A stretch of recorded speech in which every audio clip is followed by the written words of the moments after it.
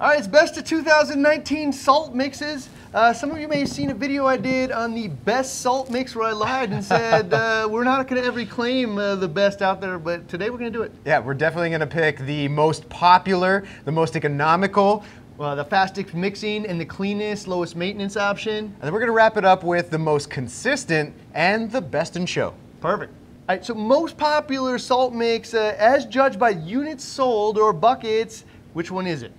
There was really close to a tie. So we have to give it to two salts in this one by a margin of 10 buckets, Tropic Marin Pro and the Red Sea Coral Pro. All right, so there was like 10 buckets apart between these things, a virtual tie, so we had to put them both up here. But you know, uh, both of these guys have different kind of sales uh, pitches to it. You know, they got your pharmaceutical grade uh, material out there. We saw it mixes really mm -hmm. fast. We saw a bunch of other different things. You know, Red Sea's big pitch is it uses natural sea uh, salts from mm -hmm. the mm-hmm. Red Sea. But uh, in any case, in Red Sea is you know in almost like every store in the nation and uh, pretty popular. So not surprised to see you know both of these rise to the top as the number one most popular salt mixes as voted by you guys and what you're buying. All right, so most economical option out here. I mean, I don't think anybody's gonna wonder which one that is. I know, this one has been a go-to for those seeking the cheapest option that gets the job done in their tanks. And based on our calculations of a 100 gallon tank doing 10% water changes, the bucket of this one uh, works out to be about 39 cents a gallon. I kind of applied that math forward to the box. And the 200 gallon box should yield you about 170 gallons or so of 1.026 specific gravity water. And that ends up with an 8 cents uh, a month savings at 31 cents a gallon. All right, so this is uh, basically what I grew up on. Can you say the same? Uh, this is this has been my go-to. This one in Reef Crystals I've always sought out when I first was getting in the hobby, for sure. So if you want the cheapest option out there that will work, I think this is absolutely the option. You know, so mm. like in the terms of good, better, best, you know, good being the cheapest option that works, uh, like this is it. So uh, if you're looking to save, I think it's probably for like a hundred gallon tank, you're probably saving somewhere between five and ten dollars a month over some of the other options. Mm -hmm. And this is just the most economical option out there. So what's the next one? Mixes the fastest. Hmm. All right, so 2019 mixes the fastest. Uh, this one is like a confusing one because I think a lot of people just like look in it and say, oh yeah, it looks good. Yeah, uh, I mean, when I was mixing my salt down in my basement, it was in a brute trash can where the trash can's dark, the basement's dark. So when I don't see large uh, salt particles in the bottom of the bucket anymore, I think it's fully dissolved and mixed. And usually that was like a few hours and then I'd use it. But we tested this in a 24 hour time lapse across a variety of different salts. And the fastest one the, out of all of them ended up being the four parter, the ESV. No question. Even this one uh, took about four to seven hours to be fully dissolved as, uh, you know, on camera in a well lit environment. Uh, some of them though were like well, well, well, well over mm. 24 hours, and I think you know, maybe even 48 hours till it's totally, totally dissolved. So uh, if, if ever completely, because uh, some of it ended up yeah. being precipitated out in some of them. So uh, this one definitely, and I think there's a really solid reason as to why. Mm -hmm. It's a four-part salt. It's unlike these, it's just a homogeneous mix of salt in there. These are four mm. separate ones. You got your sodium chloride, step one. The sodium chloride dissolves really fast. Yeah. Then you do your magnesium sulfate. So now there's magnesium already in the water, which will help prevent uh, any precipitation from happening because it's already present. Mm -hmm. Then you add your calcium and your alkalinity mixes with all the trace and minor elements in there separately in the liquid form. Liquid form. And that's why, like, you know, in if it was in a dark basement, I'd say it was mixed inside of five minutes. Oh yeah. Uh, inside of a you know more controlled environment where you're really measuring it, it was a matter of just like a handful of hours hours. So. Yeah, I mean, this is pretty cool when you want like a, when you need salt fast, like this way to go. I mean, you can make, and they have recipes for smaller batches, larger batches, or what have you. Uh, but I mean, it's a four-part system, so there is the added steps of doing the so sodium chloride, waiting till that's dissolved, doing the mag, and then waiting till that's dissolved, then the liquid components and stuff like that. So a little bit of extra prep time, but it will mix faster. So I will say out there, like a lot of people seem to pick salt based on how fast it dissolves. Oh, yeah. Like I, I pick it because it dissolves fast, it yeah. makes it clear, blah, blah. So like this, if you're looking for the fastest one, it's definitely this. However, Tropic Marin was just a couple hours right behind it. And again, like two to three times faster than almost all of the rest. Uh, but it just a little slower than this one. Yeah, so for a uh, fully homogeneous dry salt mixture, without the four this, steps. without the four steps, uh, this one is definitely my go-to. All right. Right, so next up, best of 2019 mixes the cleanest and easiest with the lowest maintenance. All right, so cleanest and lowest maintenance salt out there, what was it? Uh, well, this one has to go to a tie between ESV and Tropic Marin Pro. Uh, in this one, in our extensive salt testing, where we mixed them up and stored, you know, different salts, there were some that ended up with brown crud in the bottom, and some that didn't have any brown sheets of it. Yeah. These were crystal clear. Yeah, And they did it with them. without heat, with heat, without flow, with flow, every arrangement possible. These guys came out clean in every single arrangement of mixing up salt. That means that your bins are clean. Mm-hmm. Uh, we also ran it through a sediment filter and uh, you know check for color or anything. They were clean as well. Yeah. Uh, you know a lot of them had uh, made the yellow filter or the filter all yellow from the yellow pigments and stuff in there. And you So know easiest maintenance because be other salts where there is that buildup, there is that you know crusty crud, brown stuff, uh, maybe calcium carbonate, maybe other insoluble materials. These just don't have it, meaning I have less work in my salt bins that I have to, my mixing bins, my pumps, and all of this other stuff that I might have to do maintenance on. I'm lessening the amount of maintenance I need to do. And uh, reason for that, almost certainly, pharmaceutical grade uh, materials in here and pharmaceutical grade materials in here. So the pharmaceutical grade, like ultra low uh, uh, heavy metal sodium chloride, and uh, USP grade magnesium sulfate in there, and then there are two additives. And there's something to be said about the cleanest, you know, as far as the best of 2019 cleanest, in that whatever that brown sludgy stuff is or insoluble materials, I don't get it with these, meaning it doesn't have the chance of going in my tank. Maybe good, maybe bad, who knows. Uh, I give him a preference. I don't want it in my tank. Mm. So uh, yeah, so this is like probably like there's a lots of different things that everybody kind of says about salts out there, like you know, you know why I would choose this one over that one, and does it grow corals better? And like I don't think you'll ever get to the total bottom of like which one's going to grow the corals the best. But there's some like real definable stuff out there. Like does it mix cleaner? You know, does it keep my bins clean? Am I like certain that because it's keeping my bins clean that none of that stuff ends up in my tank? Because there are definite times where I'm mixing up my salt and whatnot, and then that brown sludge like breaks free, and then it could very well just end up in my tank. True. Yeah, so you know, in this one right here, these two guys are a tie. It's almost certainly because they're using those pharmaceutical ingredients that have been purified uh, to the standard that they don't have all kinds of organics and stuff from the uh, mining process Yeah. and whatnot. So what's next? Next, we're going to talk about consistency, and that's from batch to batch as you mix up different uh, batches of salt water. All right, so most consistent levels, meaning whether I scoop some salt off the top or I scoop some off the bottom, will it be consistent levels all the way throughout the whole bucket and give my tank consistent results? All right, so which one was the winner? This one was tough because uh, in the ICP testing results and the Hanna alkalinity checker from our stratification test, Tropic Marin Pro was uh, almost 0% difference from top to bottom across the board, 0% calcium, 0% alkalinity, about 0.28% difference in magnesium.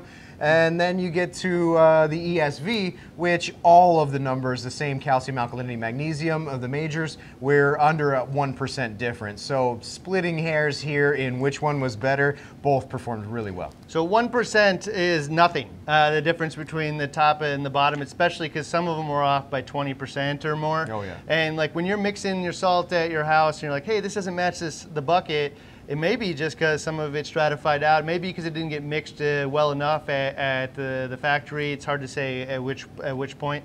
But uh, this stuff was super homogeneous. It was the only one that came out with zero difference, meaning uh, it was the exact same calcium number on the top and bottom, alkalinity the same, and just a tiny, tiny fraction off, uh, less than 1% on magnesium. Yep. And this was almost the same too. But we also did trace elements. So out of 11 salts, we tested 11 different salts, and out of the 11, the ESV on 37 elements uh, only had three of the 37 uh, above a 5% difference from the top to the bottom. These are trace elements. They're tiny, tiny little amounts of them, uh, of these things in here. So to be able to be homogeneous from top to bottom like that, no matter where you take it out of the bucket, is uh, really, really, really awesome.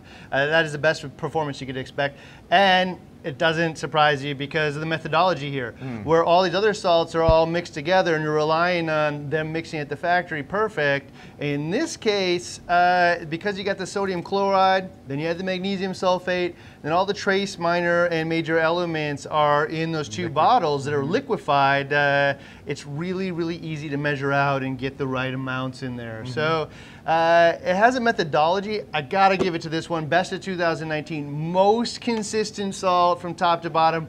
Just because I believe the methodology behind how they approach it is likely to produce the most consistent results from bucket to bucket, from house to house to reefer to reefer. All right, so what's the next one? Best in show. Ooh. All right, so best in show 2019, the salt that like is a best of the best. Which one is it?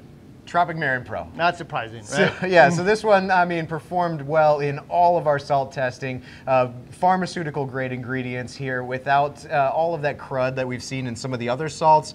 Uh, and for my vote, it mixes faster in a, than any other dry component. So this is a dry salt mix. Everything's in there, you know, the minors, the majors, the traces, and uh, it just mixes fast without me having to do like a four-part system. It's also consistent from the top of the bucket to the bottom of the bucket, even though this thing, you know, is being produced in Germany, hitting a rail car, going on a uh, steamship all the way over to New York, then going from New York all the way to Minnesota, and then out from there. We're getting consistent results from the top of the bucket to the bottom of the bucket. It's what we use here at BRS. We had, like, I don't even know how many tanks, probably 60 some Yeah. plus tanks, uh, if you include all the testing tanks. It's what we use here because I don't want to clean out the bins constantly. I also don't want to accidentally dose like whatever the crusty brown is. I have no idea what it is, but I don't want it in our experiment tanks. Yep. And I actually don't even want it in my display tank either. If it's only going to be a handful of dollars more, I'm in. If it was uh, uh, unaffordable, I would stay out. In fact, there's a whole bunch of customer service agents here that were like instant ocean fans and have been for a decade plus. But after seeing the results firsthand, like I'll spend the extra five bucks. Now they get a discount here, so it's probably only like two fifty extra True. for them. But at the same point, uh, I, I think it's the same. So Yeah, so there was a. We talked about the ESV and the Tropic Marin being so close together throughout the running of the uh, best of 2019, and the only reason that we didn't go with ESV is because, uh, end of the story, I don't want to mix four parts. So I'm not. I mean, there's people that will love to take the time and the effort to do the one part, come back, do the second, and then the third and the fourth. I just kind of want to throw the salt in my thing and know that it's ready to go uh, without doing any extra steps. I'm sure that uh, once you get used to it, it's no big deal, Yeah. right? Uh, my concern is actually when you're adjusting it. So Mm-hmm. uh, if I mix the exact amount that I needed, but like, what if I need an extra five gallons, you know? And then I'm like kind of playing mad scientist with it. Mm. So uh, that is my only concern about this one. But there's so many reasons that actually doing sodium chloride, dissolving it first, then the magnesium, and then having liquefied elements is actually like the best approach to doing this.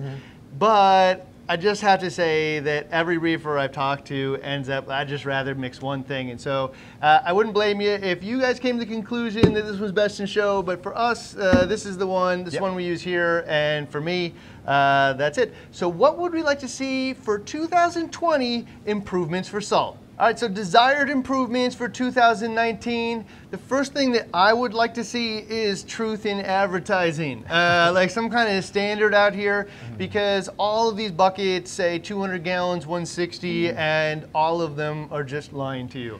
yeah. Like they uh, do various degrees, right? So different salt mixes. It's very deceiving. With one exception. There was uh, this was one of my fun the funnest tests that we did was the cost per gallon to find out all right if the bucket says you get you know 160 or 200 uh, when you actually weigh it out and you make five gallons at a salinity that almost all of us use like 1.026 uh, how much do you actually get from the bucket and there was one outlier that actually had the amount uh, on the bucket that they actually made and that was Brightwell's Neomarine. I was surprised. Like that was the only one out there that actually made the amount that was on the bucket. All the rest of them uh, fabricated. It's almost like if you were buying a car and it said, you know, get 30 miles a gallon, except for in fine print, if you drive two miles an hour. like nobody's using the car that way, so uh, it is not an accurate way to say that. So for 2020, a big props to anybody who steps forward Mm. and just says the accurate amount on the bucket. It shows that you're listening, and it shows that uh, you want to uh, have an honest uh, relationship with the people that are buying products for, of your products, and it just means a whole lot to me eh, when I can believe what people are saying. Yeah, there's another one that I really like uh, for 2020. An improvement. Like, there's a couple salts out there, Red Sea being one of them, and Aquaforest being another that have like uh, Red Sea is called My Batch. Uh, they have ICP tested from their batches of the salt mix that they dry that they make at the factory to where you can test your your salt and you know match it based off of those My Batch or the ICP analysis from uh, Aquaforest. So. Yeah. I think everybody should do that. Yeah, absolutely. It'd be nice to see the transparency that comes from that of, hey, man, we actually test this stuff, we put a serial number on it, and we'll give you the data, knowing full well you can do your own ICP testing and match it up against that. So mm. that transparency there, I would love to see all of the brands out there start ICP testing their salt and uh, you know kind of put a little bit of proof where the pudding is. So uh, I'd love to love to see that. Yeah. All right. So in relation to that, I'd love to see a guaranteed analysis too. Okay. Like uh, I'd like to see right on the bucket what you say should be in here, and uh, like uh, what's the potassium level, you know, what's uh, the iodine level, whatever. I want to see a guaranteed analysis on there. What did you put in this bucket? And so I know, and I can like can kind of hold it to that standard, Yeah. So without that, we're just kind of wondering. And I know that there's some of the manufacturers out there are worried, you know, if I give away the Secret secret recipe, recipe, yeah. or the secret sauce. You know, I, I will tell you in everything I've done in reefing, transparency and honesty pays off, Oh, man, yeah. in every, every, every case. So, like, uh, you know, listen up, man. Hopefully, we get some transparency and honesty. Put on the side of it, guaranteed analysis. Stand behind your work and tell the universe, man, this is how we do it here, Hmm. right? So, what's the next one? Uh, something I'd like to see, you know, uh, I do like these big buckets, especially if you're mixing, you know, larger uh, gallons or larger portions. Uh, but I'm a big fan of this single-use pouch type uh, era that we're in. So between like our pharmaceutical grade chemical senior uh, single-use pouches, uh, there are some salt manufacturers out there that you have single-use, you know, bags or pouches. Uh, the one that stands out to me was the two little fishies, where you can get the smaller box. Each of those bags makes about five gallons. Uh, you can get the larger box, where each of those bags make like 50 gallons. So I get an option uh, to where uh, one, I'm not, uh, I'm not jeopardizing or you know, the, not exposing the rest of the salt mix to air or water or whatever uh, the environment's Humidity. around. Yeah, uh, I can open it when I'm ready, and it makes exactly what I want. And if I want 10 gallons, I need two bags. So I'd like to see like some common sizes. Like uh, lots and lots and lots of people have like 30 gallon brute trash cans true. or whatnot. They mix their salt in. So like a 30 gallon pouch, you know, or you know, think about like common tank sizes, 120. I want to do a 15 gallon water change or, or percent on there, or well, percent water change. So like you know, get some get some common sizes out there. Like five is nice, but like I think a lot of people would like single uses. Uh, I know I just fill my bin up to this level with water, dump this salt in every time. Yeah. I barely even need to use my hydrometer or uh, uh, refractometer at that point Yeah. because like I know that this matches up to uh, like how much salt I do every time, and it probably changed a little bit based on humidity and the salt and whatnot, but not more than you'd think. Yeah. So let's let's see. Uh, I'd, li- I'd like to see that more. I think uh, Two Little Fishies really got brave and stepped out on that front. Let's uh, step it up again. There's a few. There's a few other ones out there that it's not single individual uses, but like Hmm. Red Sea has a 55 gallon bucket. Tropic Marin has like an 80 gallon bucket. Uh, Aquaforest has a smaller size also. So those can be beneficial to some people. But man, I just love to rip open a pouch and then that's all I need. Yeah, so in, in my house, uh, I'll definitely have probably a 60 or 80 gallon water bin to mix my salt in. So if I can buy those little sizes and just dump the whole thing in and be done with it, uh, like it's absolutely worth a few bucks for me. Yeah, So sure. uh, you know, uh, if it's in a bag or a bucket, I prefer actually bags uh, because I don't have to waste that bucket or have them pile them up and fill up my trash can. Yeah. I mean, after you have a few, you don't need any more. True. So the next one is get rid of the crud, man. Just get rid of the crud and all of the There's- all the salts that have brown stuff in it. Some of us are willing to tolerate it and, and that it builds up in there, but you know what? Nobody wants it. There isn't a single person out there who's like more crud. Know, like uh, not one person. No, this is one that uh, when we're kind of researching that uh, investigative testing we did on salt mixes, you go over to Reef to Reef and you can see, you know, threads of people who share the bottom of their brute trash cans and share the bottom of their uh, their mixing barrels, and you can see just how you know rampant this uh, problem is, where it's just a buildup of stuff in the bottom, and some people are concerned about it, some people less so. Well, you kind of just thought it was normal. Yeah. Like I know I thought it was normal. So uh, like we've been cleaning out our, our, our water bins here like forever. Mm. Right, it just felt like I don't know why this happens, but it happens with almost every salt. Actually, it happened with every salt that we did until we found this guy. Yeah, Right. true. And so every salt that we had used uh, always did some forms Mm. uh, uh, of crud in there, and we go through a lot of water here, so it matters. But even in my house, you know, I'm mixing up the salt in the bins, and like once in a while, you just see all of it get stirred up.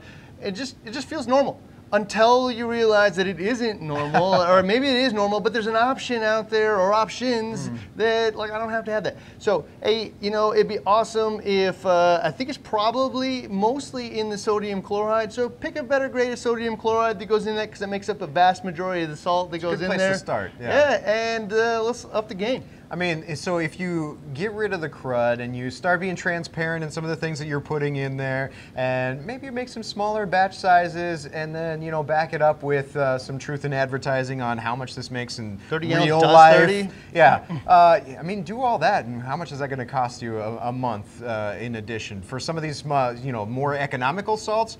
Probably a difference of like four or five bucks a month. I bet you you could do all of those things that we're asking Yeah. for and uh, increase the cost of the salt, maybe five bucks a, a month. Everybody wins. We all get a better product. So that's what we hope to see for 2020. And uh, we'll see if the same salts win next year. All right, so for the full library of all the salt videos that we did this year, including all those tests we did in 2019, you can go to the website. It's in the category header of all the pages of the website, little video link, or you can go over right here and there's a hot link right to that page. You can find all the information that we've done on salt, so check it out.